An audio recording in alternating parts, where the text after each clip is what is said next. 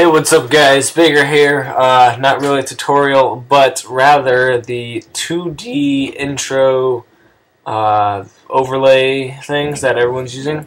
Uh, finally found them, and in no way am I taking credit for uh, any of these intros. Uh, this guy over here, Vexuli or something, uh, I'm gonna like link you to his channel. He's the one who made these, and all I'm doing is just sharing them. All right, so. And uh, I don't know if you can hear that, but there's people installing solar panels on my roof, so it's really loud. And uh, here's all the intros he's made.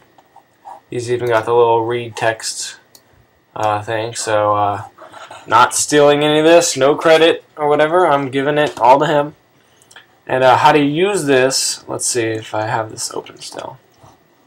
Um, you just import it to After Effects or Vegas and either set the transfer mode to lighten or screen. And the difference is, if you can kind of see this uh, semi-transparent cursor right here, screen will still show that, lighten will get rid of it. So totally up to you if you like that cursor or not. And um, that's about it. Uh, the download link will be in the description. Uh, you can go ahead and check out his channel. But uh, I finally found it, so here you go guys. And enjoy. Peace.